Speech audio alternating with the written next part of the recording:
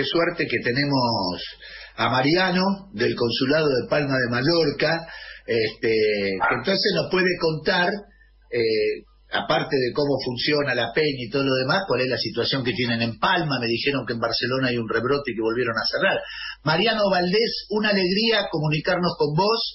Este, ahora te saludan los compañeros y queremos charlar un ratito con vos.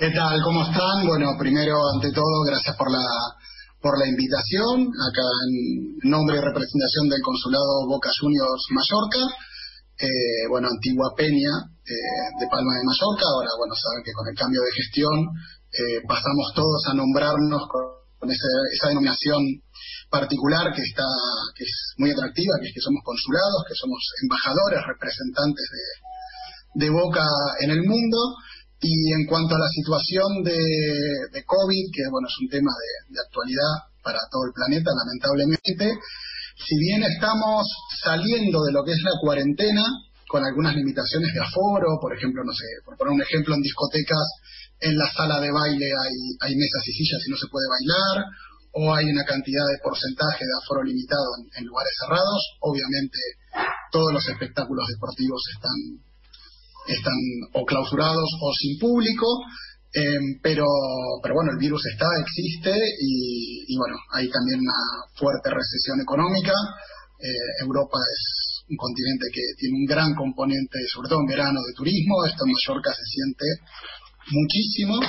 Estamos como, digamos, viviendo la isla que nos cuenta la gente que tiene más de 60, 70 años y, podía disfrutar de las playas paradisíacas en los años 50 o 60 cuando no, no había este turismo masivo, ¿no? En la apertura de, los años 60 que, tuvo el franquismo. Bueno, nos ha dado un panorama de, cómo está la situación ahí. Gustavo Rojas quería saludarte y hacerte alguna pregunta. Hola, ¿qué tal? Mariano eh, Valdés, estamos hablando con Mariano Valdés desde Mallorca. Si bien nosotros lo vemos, los oyentes no lo pueden ver, eh, Héctor Tupelengo, Gustavo Morato y que te habla Gustavo Rojas, más Florencia Polpintesta que con esto del teletrabajo no puede participar hace dos programas en la radio, te saludamos de alguna manera y te damos la bienvenida a este mundo boca que obviamente tu acento denota que no sos mallorquí, que no, que no sos originario y que tu pasión viene desde la Argentina, ¿no es así, este, Mariano? Habla mallorquí igual, ¿eh? Habla mallorquí. imagino que sí. Eh, sí, soy mallorquín por adopción, por, por elección, digamos. Eh, es mi segunda etapa en la isla, ya viví siete años a principios de siglo, entre los años 2002 y 2009, luego volví diez años a Argentina y, y ahora desde principios de 2019 estamos con la familia de vuelta de vuelta por acá, pero sí claramente soy de zona norte de Gran Buenos Aires, eh, Vicente López, Acasuso, Martínez, San Isidro, por esas zonas y, hoy soy de un pueblo de, la isla de Mallorca que se llama Valdemosa, que es muy, muy lindo, que les recomiendo que, que puedan, aunque sea, googlear hasta que se pueda venir. Repetir, repetir el nombre del pueblo. Eh, Valdemosa, Valdemosa, que se escribe con doble L y doble S, con B corta. Es muy famoso turísticamente. Exactamente, es un pueblo muy, muy, muy turístico, que ahora está sin turistas, con muy, muy poquitos turistas. Y escuchame una cosa, Mallorca, tierra paradisíaca en, en España, todos los europeos que ahora no van a poder ir por un tiempo, espero que sea breve, pero bueno. Eh, y ahí hay hincha de boca de Mallorca que no sean como vos argentinos que vienen de, de la zona norte y qué sé yo. A ver, hinchas de boca hay en todo el mundo. Eso está científicamente comprobado. Estamos en todos lados donde vamos, evangelizamos y trasladamos la, la, pasión. que, la pasión que tenemos por estos colores, particularmente este al ser un destino turístico que requiere también de mucha mano de obra eh, para, la, para lo que es el sector de la restauración y el turismo, y tiene una historia muy particular de emigraciones eh, de, la población mallorquina antigua, eh, sobre todo hacia San Pedro y Mar del Plata, fundamentalmente, también Rosario. Hay muchos argentinos, se calcula que unos 40.000 de, argentinos en, las Baleares, ¿sí? Mallorca, Menorca, Ibiza y Formentera forman las cuatro Islas Baleares, eh, censados en el consulado argentino, no, hablo del consulado importante que es el de Boca, hay 26.000 argentinos, pero, por ejemplo, en mi caso, en lo que no estoy censado y por por otros estudios se cree que hay unos 40.000. La gran, gran, gran mayoría somos o argentinos o hijos, sobrinos, o siempre hay un parentesco eh, con algún con algún argentino en, lo que es el ir a juntarnos a los partidos, si bien tenemos algún ruso eh, fanático de nuestros colores, pero somos argentinos, esencialmente argentinos. ¿Cómo se fundó esa peña, que, Mariano? ¿Cómo se fundó? ¿Cómo, se fundó y cómo evolucionó? Bien, bien. digamos que casi como toda peña, yo no estaba presente, esto es en noviembre de 2016, con un grupo de amigos que se juntaron a, ver a Boca y quisieron darle una continuidad eh, y formar una peña, que es un poco lo que se estuvo haciendo históricamente hasta, hasta ahora, ¿no? De espaldas al club, no por deseo de los emigrados o penistas, sino porque el club directamente no, no daba ningún tipo de respuesta a, a quienes vivimos en el exterior. Y, bueno, eso hizo que Boca, aunque juegue de madrugada, 3 de la mañana, 2, entre semana, domingo, eh, nos juntemos, nos juntemos a ver a Boca, que es lo mismo que, que hace alguien hoy que no va a la cancha porque es socio del interior o porque no es socio, cinco horas más tarde, nada más. Eso es lo que cambia al vivir afuera eh, o sea, hay que estar a las 2, 3 de la mañana viendo a boca, se lo ve. Se va a dormir un poquito antes, de 8 11 de la noche, y te levantás y, después ves a boca, como, como hacemos todos. ¿Qué hora, ¿Qué hora es allá exactamente ahora? Ahora son las 7 y cuarto de la tarde. Ah, mira. 5 horas. Con más 5. María, yo no sabía que te seguía en Twitter, que te he retuiteado muchas veces. Realmente, recién cuando hablabas, estuve mirando mi Twitter y el tuyo, eh, y hemos coincidido muchísimas veces porque te he retuiteado, además veo tu presencia en Twitter, es una presencia histórica. Eh, y muy presente también en el día a día de Boca. Agradece. Bueno, pues, es, el tema de Boca se comunica también a través de las redes, pero es algo que se vive constantemente eh, y tal vez por ahí se, se exacerba un poco más a la distancia, el no tener el, el café en el trabajo, el poder hablar con otro bostero o, o bueno, si bien hay peñas de otros clubes, acá es una situación totalmente diferente a la que, la que pueden haber en Argentina. Y, bueno, eh, es, es, algo que uno lleva, yo además también participé eh, activamente en la política del club, eh, la elección pasada. Me tocó eh, estar en el, en el grupo que bueno, no, no pudimos ganar, conjuntos por boca, estaba en el área de profesionales, en el área de comunicación, y bueno, llegué a ser candidato a comisión directiva, vocal, pero no, no se nos pudo dar. Así que eso también hace que esté un poco más metido dentro de, de las cuentas redes sociales. La pregunta Mariano, no, perdón. hay, hay, un Mariano, hay un Mariano, hay un Valdés en la zona norte. ¿Tiene algo que ver con vos? Si es mi hermano, tiene que ser Leandro. Leandro Valdés, amigo, amigo y compañero es el que hizo el libro Los Mellizos. Los verdaderos mellizos de la boca y también hizo Mística 2000, que es por la Copa Libertadores 2000. Exactamente. Bueno, estamos, estamos hablando con un hombre genéticamente, familiarmente de boca. La pregunta que te quería hacer, Mariano, era si, además de las actividades que ustedes se reúnen para ver los partidos y ese tipo de cosas, si tienen algún otro tipo de actividades, digamos, de tipo social o de esa naturaleza dentro de Boca. Te hago esta pregunta, hago esta pregunta porque nosotros le ponemos importancia cada vez que hablamos con los cónsules o con la peña del interior, porque después tenemos a un hombre de la peña del interior. Y nos interesa esta idea de que Boca es pueblo. Eso.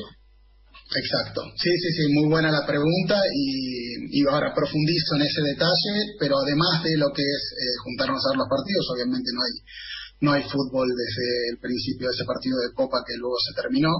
Eh, con Godoy Cruz sí que nos juntamos a comer asados mensualmente, eh, organizamos torneos de, truco eh, virtuales, al igual que, se hace en el club. Ahora en breve vamos a sacar uno con el, porque también estoy colaborando con el Departamento de Interior Exterior, un torneo de truco a nivel mundial.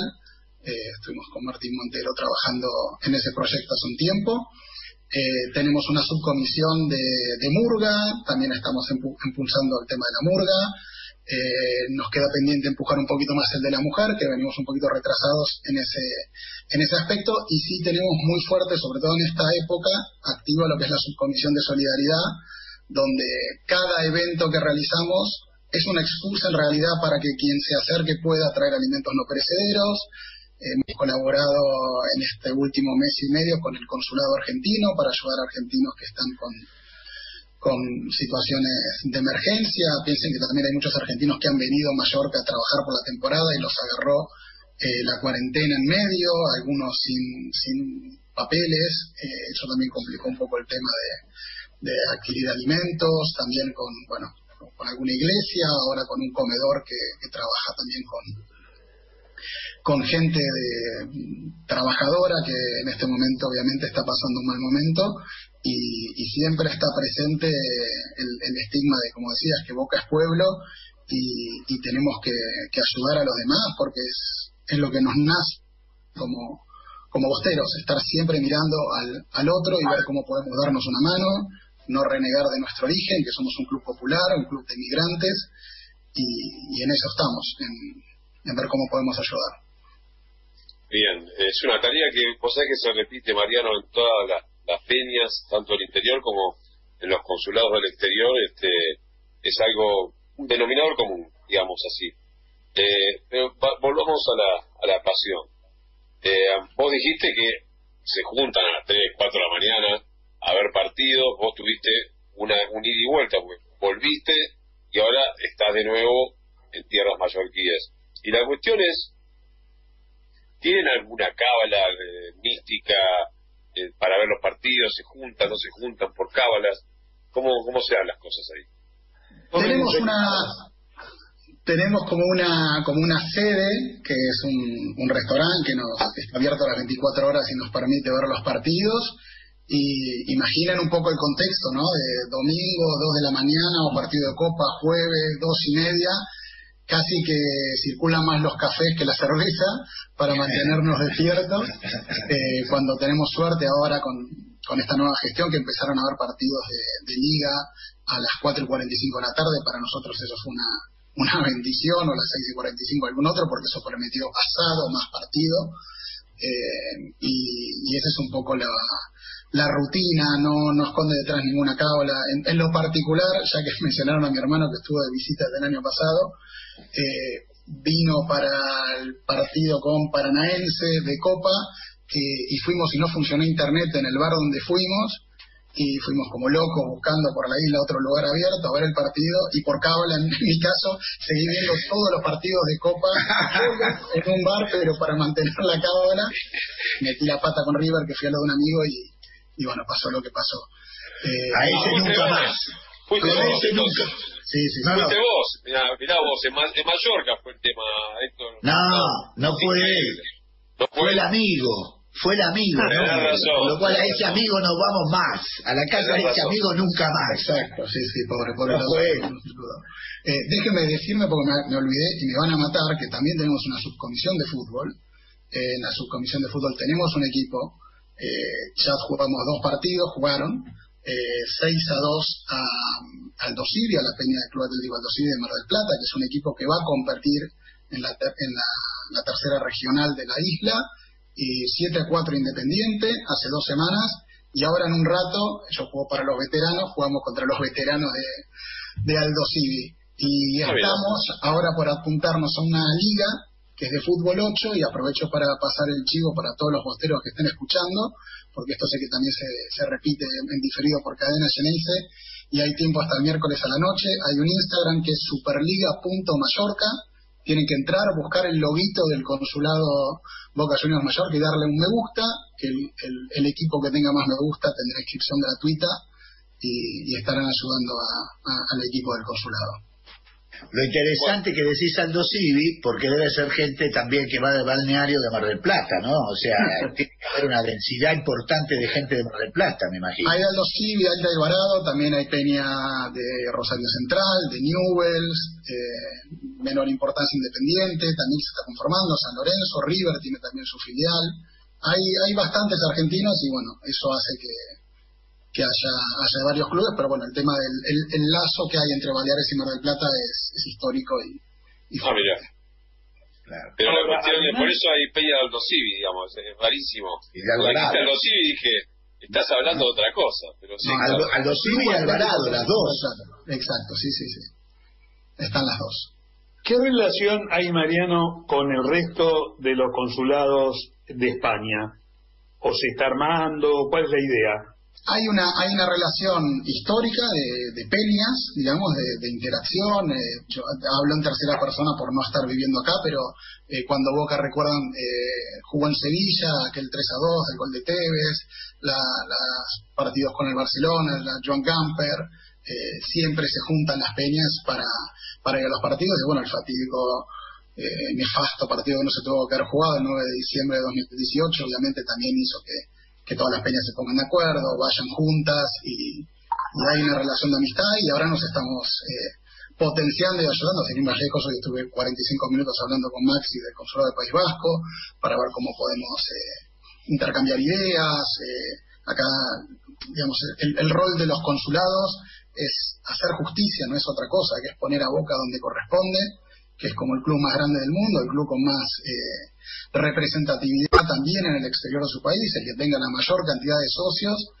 y porque es, es eso, porque es el club más grande y tiene que tener la mayor cantidad de socios, y entonces estamos trabajando muy fuertemente en la campaña de socio internacional para, eh, bueno, poner a Boca en el lugar que corresponde. Ese es nuestro rol, lo que nos toca a los que estamos, a los que estamos afuera. Bueno, este, no sé, este, la verdad que muchas veces nos sorprendemos, eh, pero en Mallorca, que es una isla en España, que haya uno de tantos, porque no estoy diciendo uno por Mariano, pero uno de tantos que se juntan por boca, se puede juntar por, no sé, equipos de la B, algunos que nombraste, pero por un equipo de primera división como Boca, eh, con la fortaleza que tienen todos los consulados eh, de los que hemos hablado, porque hemos hablado con el de Granada, con, agréguenme muchachos, eh, no sé si el de Madrid, pero es impresionante, ¿no? Israel también, pero no está en Europa. O no, no, no, hemos hablado con Colombia. no, no, pero me refiero de España. Estamos recorriendo el mundo con boca nosotros. Digamos que es mucho más fácil encontrar un que no no nos sorprende tanto encontrar un consulado o distintos consulados en España, país con el que tenemos la relación que tenemos, pero sí nos llama la atención hondureños, no argentinos, hondureños en Honduras, en Israel, en el caso del patio que, está en el, consulado de Honduras, sí, sí, no, pero tenés casos como eh, Kuwait, por ejemplo, que también tenemos un consulado en formación y claro, claro, hablamos por Jerusalén, trabajamos. Donde hay un argentino, hay un o no, no, no, este chico es kuwaití, por poner el ejemplo. Ah, mirá, claro. Famoso en redes sociales también Isamu Kato en Japón. Tenemos, tenemos varios eh, casos. La gente que le gusta el fútbol, que lo vive con pasión y con sentimiento, coincide, más allá de que sea hincha, una peña en el exterior o no, que Boca es el club más importante en cuanto al estadio, en cuanto al sentimiento, en cuanto a la hinchada, entonces suele pasar que haya hinchas no, no argentinos en el mundo que nos sigan. Vos sabés que además nos hay algunas cosas que nos conmocionan, ¿no? Por ejemplo, el tema este que decís de la ayuda social de todos los consulados y, y después se replica cuando hablamos con las peñas. Pero el otro día hablamos con un compañero de Chile que teníamos una vieja discusión. Vos sabés que los argentinos tenemos una vieja, una vieja discusión con los chilenos, y además Boca, que fuimos allá y ese partido terrible. Y el muchacho nos contaba que a partir de la, de la agrupación de Boca, a partir de las asociaciones, de las cuestiones sociales y demás, están en Chile, están bien, están reconocidos, no hay, o sea que el azul y oro haya sido un puente entre distintos países, en el mejor sentido del puente que comunica, que mejora relaciones, para nosotros es una satisfacción enorme. Sí, este, seguro, te estarás refiriendo a Mati Lescano de seguramente. Sí, exactamente. Sí, exactamente. Exactamente.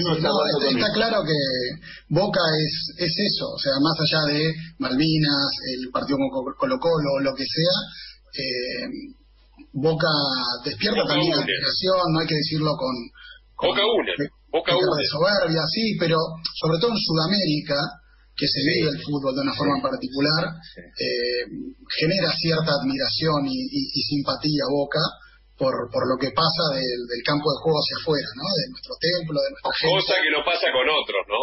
No, eh, con, con, el bar y con un montón de cositas que tienen, generan mucha bronca. Nosotros, hay un montón de brasileños que se llaman Juan Román, por ejemplo. o sea, hay cuestiones que nosotros generamos empatía con la gente, no odio. No, no, no, no, no, primer nombre también, ¿eh? Claro, y nos odian acá. Nos odian acá, dicen, ah, portero, qué sé yo, pero cuando vamos afuera, este, adentro también, digamos, somos mayoría, pero cuando este, eh, otros clubes no lo pueden hacer. otros clubes no lo pueden hacer. Está claro que, bueno, ya lo dijo el Puma Armando hace un montón, ¿no? ¿Cuáles son los goles que más se gritan y los segundos que más se gritan? Exactamente. Mariano, Mariano, en principio te queremos agradecer, sabemos de tu labor permanente, como decía Héctor, a través del chat de Cadena Ceneice, agradecerte también el tema de Cadena Ceneice, en el caso de nuestro programa, este, para nosotros es un gusto enorme comunicarnos y saber eso, que los consulados que le estamos dando importancia, que queremos socios internacionales, son eso que hablamos antes, son un puente para unir y no dinamita para dinamitar puentes, sino que queremos construir puentes con todos nuestros consulados y la verdad que te agradecemos muchísimo y nos sentimos orgullosos del trabajo tuyo. Para nosotros que un hincha de boca esté allí trabajando, haciendo cuestiones sociales, desarrollando fútbol, distintos campeonatos y lo demás, para nosotros es un verdadero orgullo y te queremos agradecer que hayas participado con nosotros. ¿eh? Bueno, muchísimas gracias. Por mi parte también decirle que lo que están haciendo ustedes es fundamental para este nuevo proceso de, externalización de Boca, de, oficialización de las peñas que hoy son consulados en formación en el exterior. Esto requiere de mucho trabajo de hormiga, estamos en un contexto internacional muy difícil para emprender este tipo de, de aventuras y, ayuda muchísimo la difusión constante que hacen un montón de medios en Argentina para, para dar a conocer nuestro trabajo, que, sin esa ayuda les aseguro que sería muchísimo más complicado. Bueno, gracias Mariano y esperemos eh, darnos un abrazo de gol en cualquier momento cuando Boca empiece y salga a la cancha nuevamente. Ahora te mandamos un abrazo, un abrazo de codito. Ahora te mandamos un abrazo de codito. Nos vamos a la tanda. Gracias, Mariano. próximo en el templo. Un abrazo enorme.